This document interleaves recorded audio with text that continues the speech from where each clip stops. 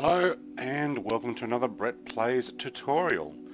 Now this one I'm sitting in the Boeing 727-100. This is one of the aircraft that has a uh, frosted over front and side windscreen here.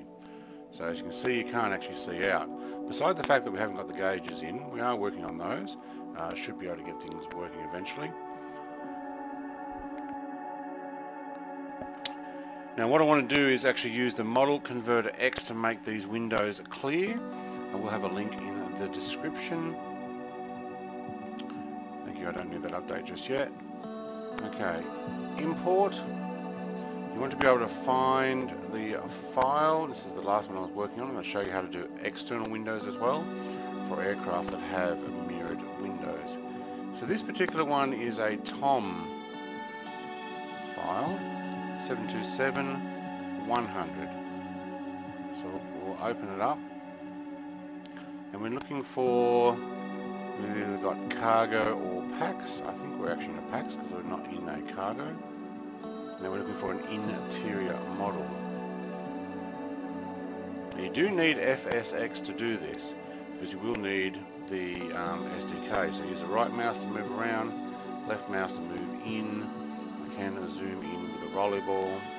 And this gives me an inside uh, view of the windscreen.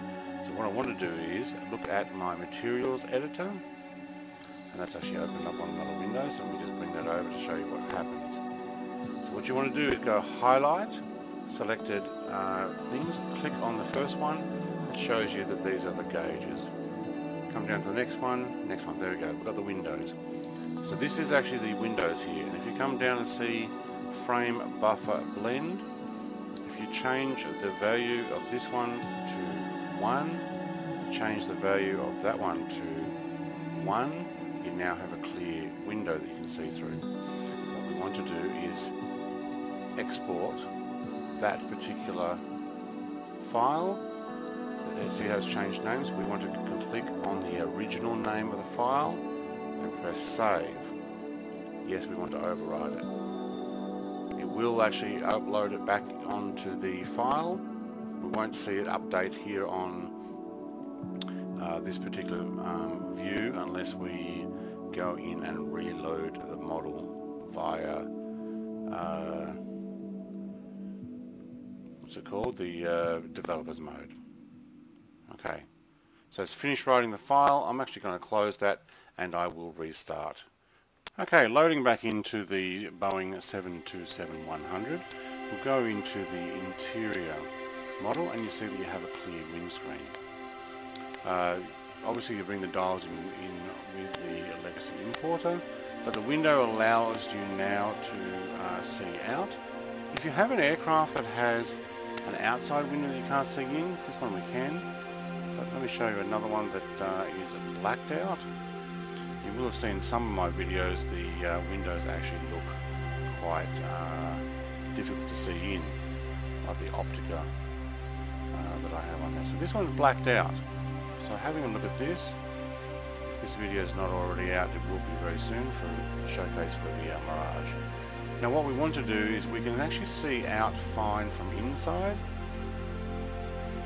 It's got a little bit of a reflection in there, but that's actually probably about right from the outside it is completely black. Why it rolls out I don't know. So what we want to do is we want to open the model converter X again. Now this particular uh, file has multiple models. Now some of yours might. So I've gone to the Mirage C Model 1. So that's where I've actually found it. And it's got, let's come back up one level.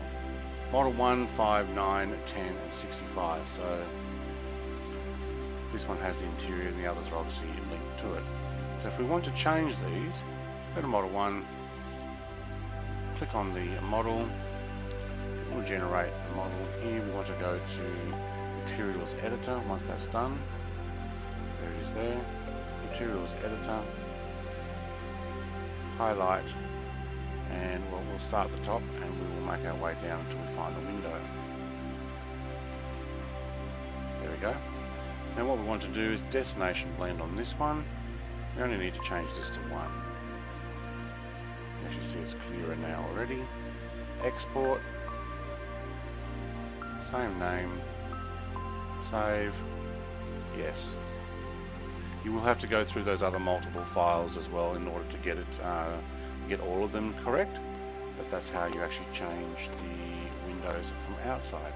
So if I look at uh, what I have done for the other two here, the FUSI and the B model, if we look at the B model here, we now have a clear windscreen.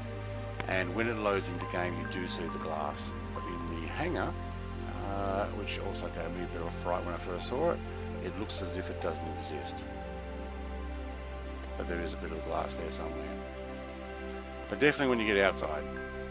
Alright, so that's how you can change your uh, frosted out windows.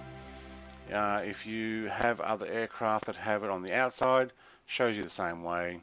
So if we find the, where's it for O for Optica?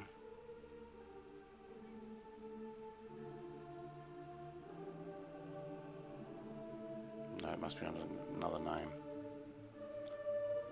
You can see, I do have a lot of aircraft.